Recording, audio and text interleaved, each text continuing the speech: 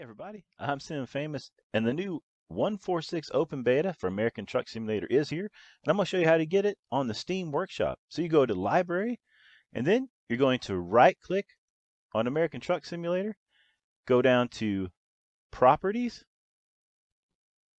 and then when you select Properties, you'll see Betas.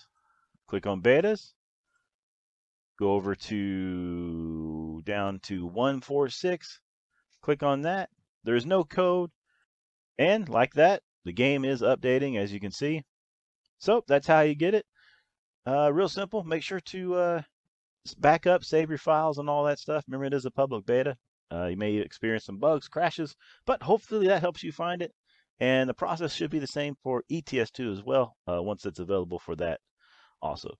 Well, I'll see you all later. Thanks for liking, sharing, and subscribing, and we'll see you on uh, live stream here very soon.